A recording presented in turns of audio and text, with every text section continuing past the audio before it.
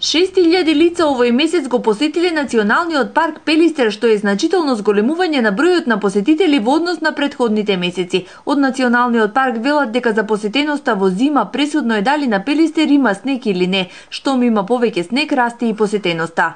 По 1500 до 2000 луѓе максимум во декември и ноември го посетиле Пелистер. Известно зголемување имаше од нова година до пред 2-3 дена додека имаше услови за скијање, негде бројката достигне и до 6000 луѓе, што значи дека доколку се временските услови погодни има доволно снег и бројот на посетителите на Пелистер ќе биде поголем. За време на празниците на Пелистер доаѓаат посетители од странство, како и повратници од прекоокеанските земји, кои остануваат и по неколку дена во угостителските објекти.